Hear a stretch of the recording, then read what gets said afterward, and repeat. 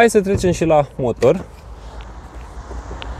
Să vedem ce se ascunde sub capotă. Pentru că vorbim de o mașină din clasa premium, categoric vom avea amortizor tot timpul și o pâzlă de antifonare la capotă. Iar aici avem un motor 2.0 TDI de 177 de cai și 380 de Nm. Este EA189, adică ăsta. L-am mai filmat pe Tiguan, însă acolo era montat transversal. Audi pentru că este Audi A4 cel puțin și cele superioare sunt pe platformă MLB, vor avea motorul amplasat longitudinal cu diferențial central Torsen, nu Haldex și în cazul acestuia o tracțiune integrală.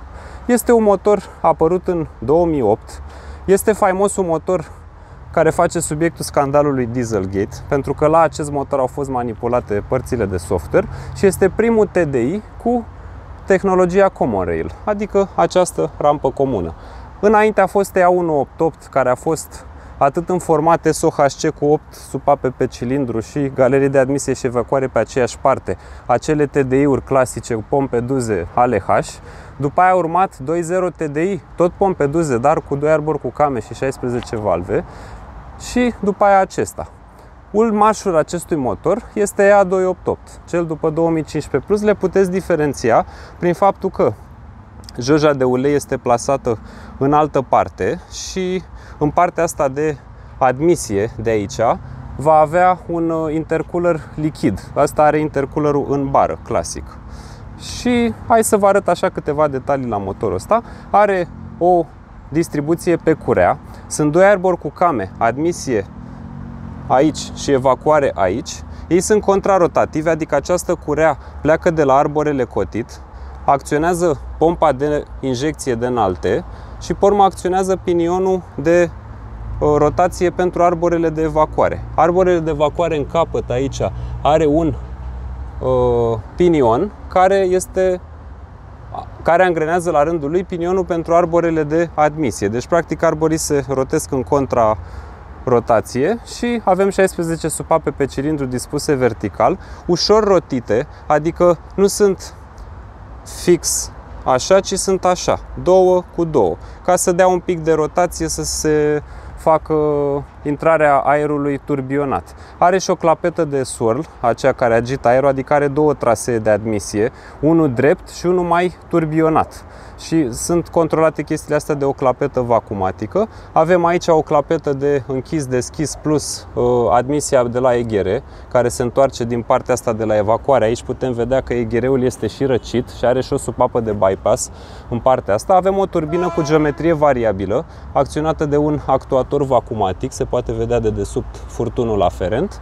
Are o galerie care este una cu turbina, ele se vând împreună. Această generație încă nu are galeria de evacuare integrată în uh, chiulasă și per total este un motor destul de fiabil. Folosește injectoare cu sistem piezoelectric care au fost mai sensibile. Ele ca principiu, nu neapărat injectoarele de pe acest motor. În prezent, majoritatea brandurilor folosesc injectoare cu solenoid, care au avansat în tehnică și pot produce până la 8 cicluri de injecție pe un ciclu de admisie. Înainte se putea realiza chestia asta exclusiv cu un uh, injector cu piezo. Motorul ăsta este Euro 5.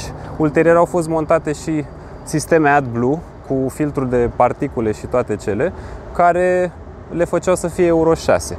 Această mașină are catalizatorul și filtrul de particule sunt situate direct după evacuare. La EA288 sunt mult mai compacte, sunt situate exact la ieșirea din turbină. Turbina e mult mai sus decât la motorul ăsta și uh, catalizatorul și DPF-ul sunt unul peste altul sau unul sub altul, cum vreți să le spuneți. Aici sunt unul în continuare a celuilalt, undeva mai jos. Sunt niște diferențe de layout pentru acest motor. În spate aici se mai poate vedea această proeminență care se numește pompă de vacuum. O chestie inedită am mai prezentat-o eu la EA288. Există o piesă similară, care însă acolo are rol de uh, distribuție variabilă. Este singurul diesel de la VAC cu variator pe distribuția variabilă și acolo are un amplasament total diferit al supapelor. În timp ce să zicem la mașina asta, pistonul de aici, în cadranul ăsta, are supape de admisie și supape de evacuare, la EA 288 vom avea supape de admisie și supape de evacuare, adică dispunerea lor este rotită la 90 de grade și astfel avem uh, doi arbori cu came care ambii alimentează atât supape de admisie cât și cele de evacuare. La ăsta avem arbore cu came dedicat pentru admisie și dedicat pentru evacuare. Ce mai are mașina uh, ca aspect tehnic, are o pompă de ulei care conține integrat în caseta pompei și doi arbori de echilibrare Lanchester contrarotativi care sunt alimentați de pinion, adică sub cureaua de distribuție, sub rola de la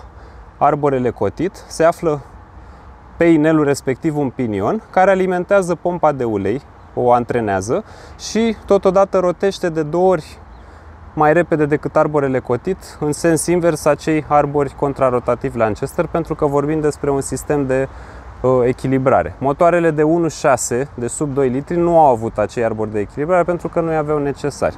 Cam asta ar fi despre motorul ăsta. Din punctul meu de vedere, ca probleme nu prea au fost, evident, sunt probleme de diesel, care înseamnă EGR, injectoare, turbine, dar astea țin de numărul de kilometri și de felul cum a fost condusă mașina.